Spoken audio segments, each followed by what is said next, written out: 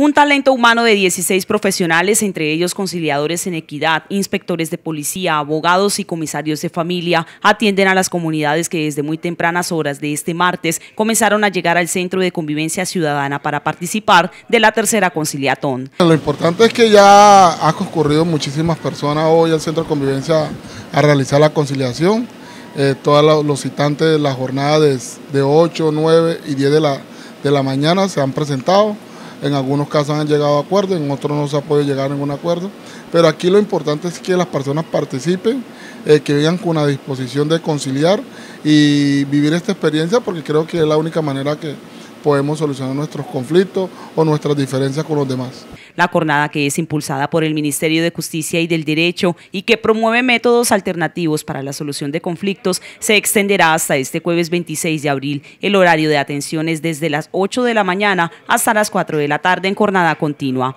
Viene una evaluación, vamos a hacer un informe presentado al Ministerio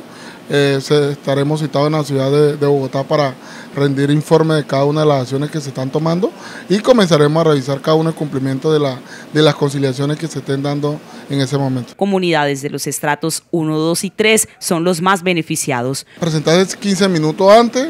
eh, con la documentación en mano, con las citaciones, para una vez tener el caso a la mano y poder pasarse a la conciliadora en equidad y poder desarrollar lo más rápido posible cada una de, de las conciliaciones conflictos relacionados con inasistencia alimentaria, liquidación de sociedad conyugal, préstamos o deudas no canceladas son los que serán redimidos en esta jornada.